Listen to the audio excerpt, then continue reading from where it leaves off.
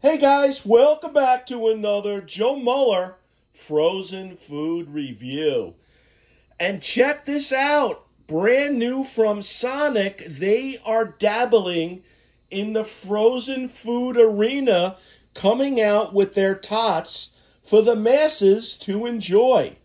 So today I was at my Walmart market and I got these, and these ran me a grand total of $3.44 for a 1.75 pound bag. All right, I'm gonna get these in the air fryer. We'll be right back to see if they taste exactly like the Sonic Tots. Up next, stay tuned.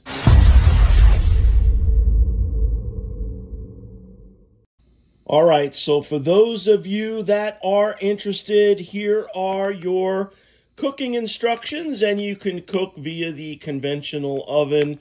I am going to opt for the conventional air fryer, and we'll be right back to give them a shot. All right, and here they are in all of their frozen glory. They look like your standard tater tot. But will they taste like Sonic Tots? All right, guys, and here they are right out of the NuWave air fryer, and they are piping hot. I'm going to let these sit for a couple of minutes. We'll be right back to give them a shot. All right, they have been cooling for a few minutes. Let me stick one here. And we're going to do a little bit of the dippity-do. There it is. Honestly, guys, these do not taste like the tater tots you get at Sonic. At Sonic, there is a clear and distinct sweetness associated with the tater tots, and these do not incorporate that flavor.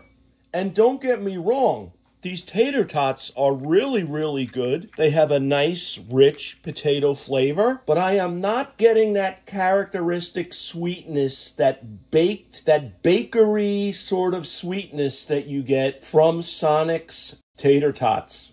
So on a scale of 1 to 10, with 10 being the very best, based on price, flavor, I am giving these a rock solid 7.